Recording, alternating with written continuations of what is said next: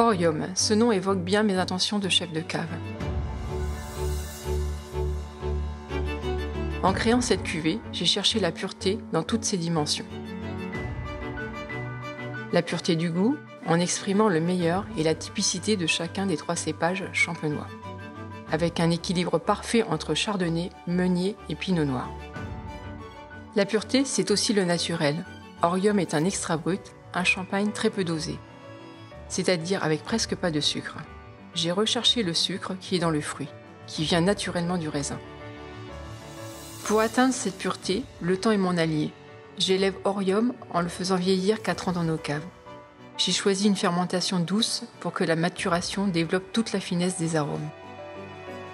Avec un nez subtil de fruits jaunes, sa bouche ample et soyeuse, et une finale tonique et minérale, Orium est un extra brut qui plaît à ceux qui aiment le champagne sans phare, précis et fin.